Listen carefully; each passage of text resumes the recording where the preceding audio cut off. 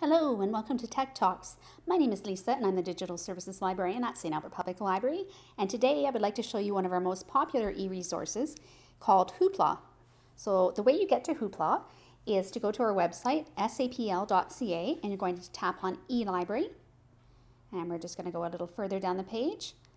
And Hoopla is right kind of in the middle of the page depending on what device you're using. So Hoopla has movies, TV shows, ebooks, audiobooks, comics, and music. So it really, it's all in one. It has everything. So we're just going to tap on more. And we'll scroll down there. And here is all the information about Hoopla. So each of the different formats, again, these are all digital, they have different loan periods and they're right here. So your movies and TV shows are three days loan and music is seven days loan, etc., etc. Um, now with Hoopla, it used to be you could only borrow five things per month but we increased that to seven items per month. So now you have more things that you can access. And the great thing about Hoopla, everything is available instantly. You don't have to place holds and there are no wait times. It's automatically available. So let's just take a peek at it. So we're just going to open it up here in the browser and you're just going to tap on Hoopla for browser. We're going to do that right now and I actually have it open already. So we're just going to close it. So this will be the page that you come to. Now, if you've never used Hoopla, you will need to tap on Get Started Today. So in the box that pops up, you will need to enter an email address and create a password, and then click to agree to their terms and conditions. And once you've done that, your account will be set up and you'll log in with your email and your password. So once you've created that email and password and you log into Hoopla, you'll be brought to the main page. So the main page looks like this. So this will show you what you currently have out and it shows you how many borrows you have left. So in this case, I have six borrows left this month that I borrowed one item already. And you can see re what's recommended for you and some favorites. So let's take a look at Hoopla and see what there is in there. So the first thing you can do is you can do browse and then you can narrow it down by format. So you could do audiobooks, movies, music, comics, ebooks, and television. You can also do that here in the search box where it says everything. If you tap that, we can narrow it down by all those formats, but we can also narrow it down by author and categories, publishers, and series. So in this case, let's narrow it down by, hmm, let's try movies. So we are going to say that we want to look at movies. So we're choosing movies. And then if you know the title of the movie, you can put it right in here. So we are going to say we want First Flight. First, whoops, spelled correctly. First flight. There we are. And we're just going to tap the search button. And there is the movie First Flight. So I can tap on it. And it will give you a description of what the movie is about. And then at the bottom here, you can see where underneath borrow, it says this title is available for three days after you borrow it. And you can download titles in Hoopla. That's the great thing. All of the different formats in Hoopla, they're all downloadable. So in this case, if I wanted to borrow it, I could tap on borrow. Or let's say I don't want to borrow it right now because I'm close to using up my seven borrows. I can tap on the heart and that is going to put it under my favorites. So I'll show you where the favorites are later. Right now we just want to look a little bit more at Hoopla itself. So let's say you don't know what you're looking for and you just want to browse. So if we go into browse, we can just tap on movies. And now we're into the movies where you can browse. So right now there are different categories. There's recommended, featured, popular, and categories. So you can see lots of different ways that you can filter by format, by release date, by patron rating, and by language. And if you have children, you can tell it to only bring up children's titles, which is kind of handy. We're going to get rid of that just for now. There we go. So now you're seeing all of the different titles in here.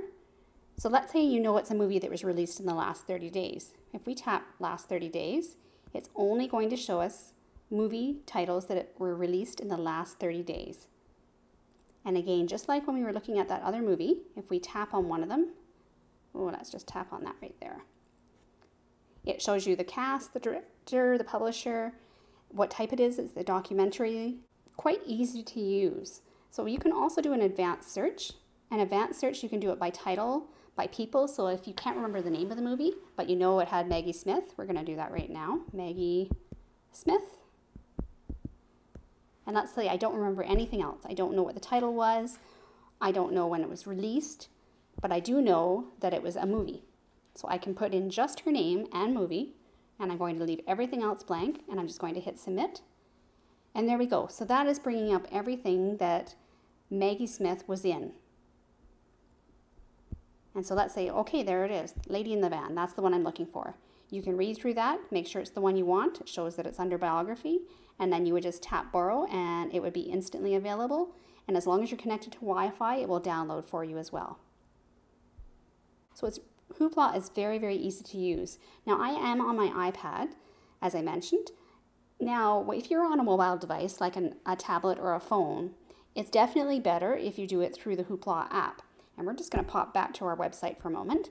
So under Hoopla, there is a link to the Hoopla app for Apple and the Hoopla app for Android. So I'm just going to tap right now the Hoopla app for Apple. And it's going to pop up the App Store. And in this case, I have it already. So we're just going to tap open. There we go. So it looks a little bit different, the layout in the app than what it does when you're looking at it in the browser. And you can use it in either one. But if you're on a mobile device, it is definitely a nicer experience to use it through the app. So you'll see along here at the bottom, it always will open into your Hoopla. So essentially it's what you have checked out. It's your favorites, it's your history, all of the things that are in there. And actually if we tap favorites, you can see that one that I just did the favorite on, the first flight, it's now under my favorites. So it's a way to keep track of things you want to watch, but you might not have the time to watch them right now, but you want to remember what they were. That's what favorites are for.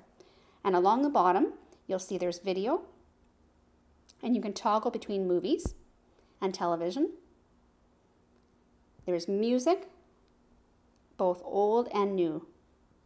Books, so lots and lots of different audiobooks, and there are ebooks, and there are comics. And I personally have found that Hoopla has a really fantastic collection of audiobooks. So we're under popular right now. Recommended is what Hoopla thinks that you want to borrow based on what you've borrowed before. And you can actually tell it, you can, and we'll look at that later, but you can actually give it some recommendations so it'll pull up things that are relevant. And then featured are things that Hoopla is featuring right now. So those are what those three different categories are. You'll see up here on the upper right, it says genres. So we're in audiobooks right now. Let's say I want a different genre. I know I want, mm, let's say mystery. Just going to go a little bit further down. Now, there are different categories of mystery in here. They have cozy mysteries. Actually, let's do that right now. We're going to do cozy mysteries. So now it is only bringing up audiobooks that fall under the category of cozy mysteries. Now, up here on the left, you can see filter. So again, you can filter down here as well.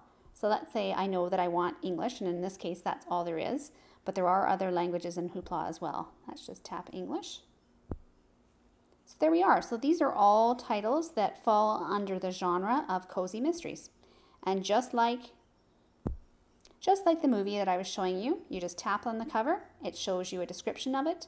If it is a series, and this is something I really like, if you tap on the name where it says part five of the Cackleberry Club series, if we tap on that, it will list all the different titles in the series, which is really nice. So if we tap on this one here, it shows us, if we go a little further down, it's part two in the series.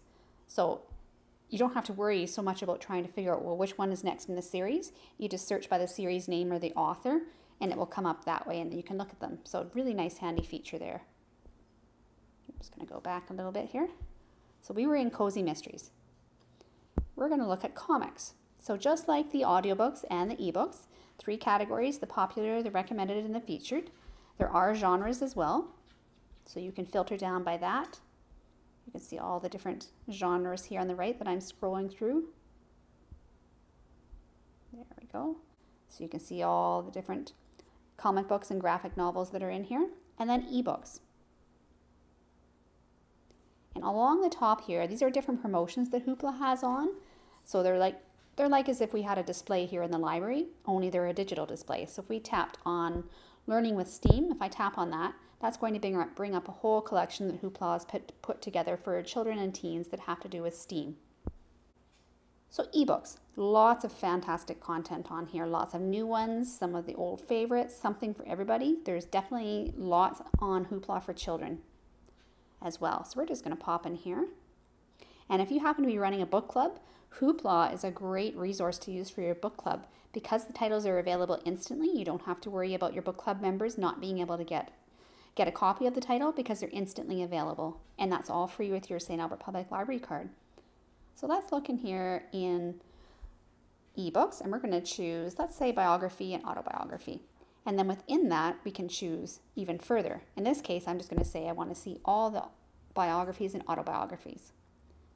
And here we are, lots and lots of titles. Let's just tap on Call the Nurse.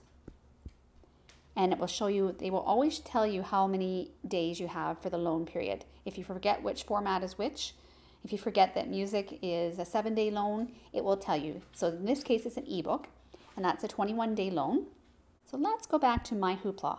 So when I was mentioning to you about Hoopla showing what recommendations are, when they're showing you all these recommendations and that you can customize that, this little gear under the on the top right, when you tap on that, you can tap on recommendation settings and then you can select the genres that interest you. And if you do that, then when you tap under the recommendations when you're on Hoopla and you're looking, those recommendations will be closer to what you're interested in. The other thing that's nice in Hoopla is you can turn on kids mode. So it's a setting designed to make children discover content easy for parents and children. It's when it's toggled on, it means that Hoopla has deemed that all the material that's in there is suitable for children ages 12 and up. Under here, there's notification settings. So that is if you want to be notified by by email or by push notification, which means within the app. I would definitely recommend you want to be notified by email. Library settings. That's where you would have gone in to put your library card and your PIN. Link to a streaming device. Yes, this is an interesting one, and we're going to look at that one in a couple of minutes because there's a lot of a lot of information to pass on to you. Now, this little question mark up on the upper right, again, we are under settings right now. This is really handy because it shows you how to use Hoopla. It shows you some common error messages. You can submit feedback right away with Hoopla if you're having any problems.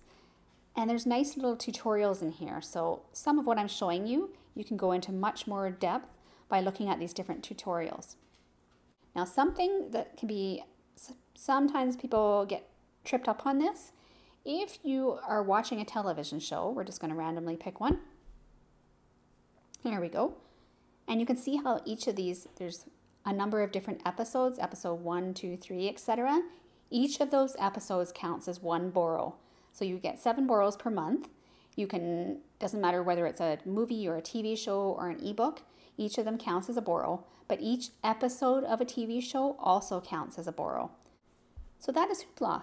It is super easy to use. It has, as we mentioned, it has audiobooks, a really great collection of audiobooks, movies for all ages, music, comics, ebooks, and television shows. And I definitely recommend that you give it a try. It's all found through SAPL, sapl.ca, our website, under eLibrary. And you're just going to tap on Hoopla and all the information is there. And it's all free with your library card. Thank you.